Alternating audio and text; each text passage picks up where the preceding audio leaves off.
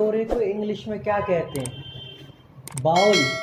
नहीं, इसको बाउल नहीं कहते। अधिकतर लोग इसको बाउल पढ़ते हैं, बल्कि डब्लू यहाँ पर साइलेंट होता है। इसको पढ़ते हैं बोल। क्या पढ़ते हैं इसको? बोल पढ़ते हैं। बोल, ना कि बाउल। ये क्या लिखा हुआ है?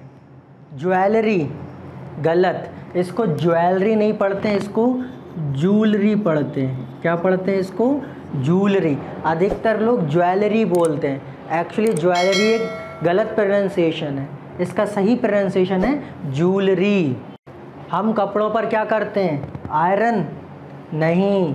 ये गलत प्रोनाउंसिएशन है। आयरन नहीं होता, वो आई अन होता है। आई अन हम कपड़ों पर आयन करते हैं, ना कि आयरन तो ये आपका मिस प्रोनाउंसिएशन होता है आयरन इट्स आयन हम कपड़ों पर आयन करते हैं।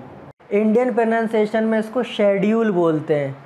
लेकिन अगर इसको या आप अमेरिकन या ब्रिटिश प्रोनाउंसिएशन में बोलेंगे, अगर इसका अमेरिकन और ब्रिटिश प्रोनाउंसिएशन क्या होगा?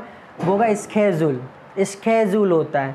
लेकिन अधिकतर कोई आपके सामने शेड्यूल को स्केजुल बोलता है तो आपको लगता है कि उसने गलत बोला है। लेकिन ये अमेरिकन और ब्रिटिश प्रोनाउंसिएशन में स्केजुल होता है, ना कि शेड्यूल आप वीडियो पर क्या करते हैं? कमेंट या कमेंट एक्चुअली सब लोग कमेंट या कुछ लोग कमेंट बोलते हैं। ये कमेंट नहीं, ये कॉमेंट होता है। कॉमेंट कॉमेंट तो आप वीडियो पर क्या करते हैं? आप वीडियो पर कॉमेंट करते हैं, ना कि कमेंट